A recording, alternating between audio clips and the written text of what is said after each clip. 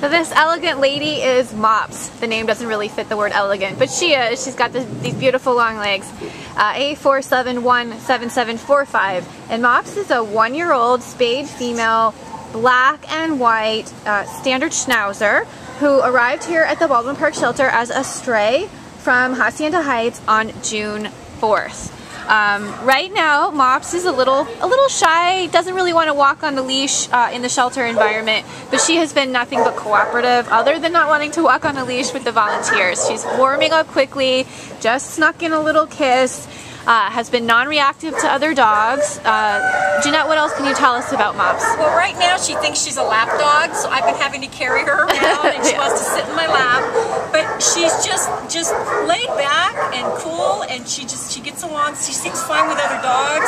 I think she'll be a great pet for anyone. Absolutely. She weighs 30 pounds and uh, is available here at the Baldwin Park shelter. Please come meet her.